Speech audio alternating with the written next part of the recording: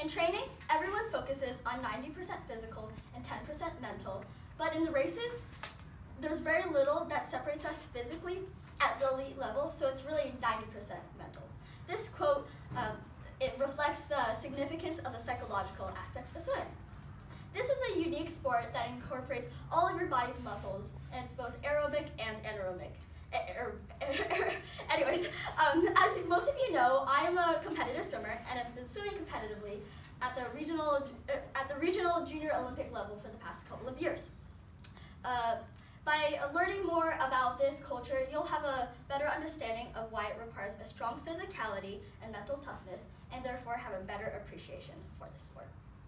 Today, uh, first, I will discuss the characteristics of this culture, the psychological component of it, and my identification with this culture.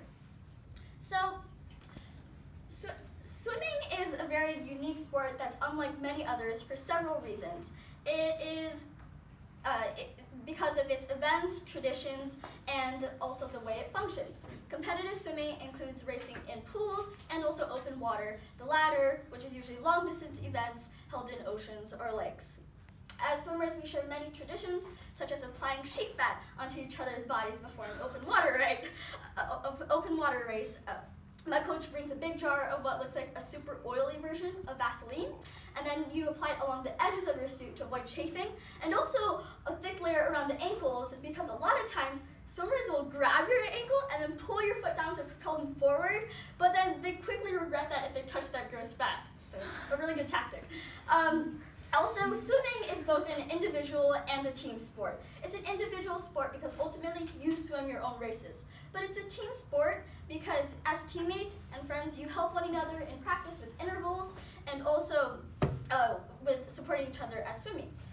Uh, uh, most of the teams in this culture, they have a cheer that they might say after practice or before a meet to create a sense of unity and to intimidate other swimmers. Next, the mental aspect is super important in the swimming community. Uh, the, uh, the, visualization and belief are the two main keys to success. Like Graham said, how, me how mentally prepared you are for a race is way more important than how much you practice because everyone can practice, but it's who's more mentally ready for it that determines who wins. Some uh, common things that swimmers do as the more advanced that they get is to uh, visualize different parts of the stroke event, such as head position, position and tempo, and also to believe that they can get faster and also to reach their goals. Uh, commonly, people will spend three to four minutes before a practice, you know, practice uh, visualizing what they need to work on and how they're going to get there.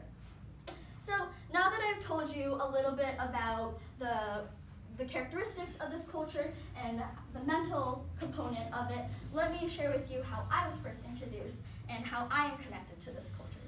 So, uh, swimming has, uh, has uh, grown to become an important part of my identity. I must admit, I did not like it at first, but once I learned how to actually move forward and not drown, then I realized that I enjoyed the sport, and especially because I loved the way that it made me feel uh, how happy I was after practice, the rush of adrenaline you get as you step onto the blocks, and also the feeling like uh, the feeling that you can fly as you recover your stroke from butterfly, which is why I like that stroke. It's my favorite.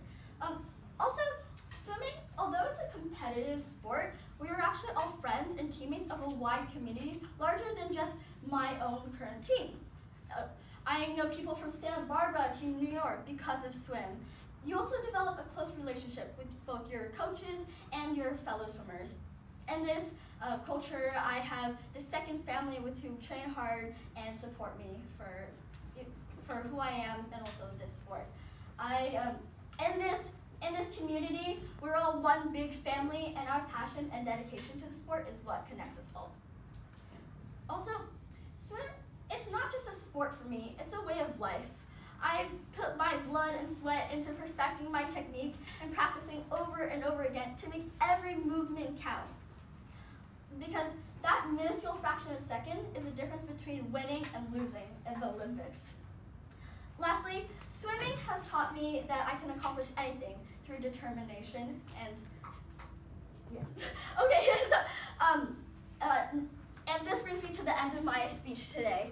I hope you've gained a better understanding of what the swim culture is. Today we discussed the characteristics of the swim community, the, the mental component, and also my identification with this culture. In Finding Nemo, Dory once said, when life gets you down, do you know what you've got to do? Just keep swimming, just keep swimming, just keep swimming. So I'd like to extend an invitation to each of you to share this passion of mine and to jump into the water and start swimming.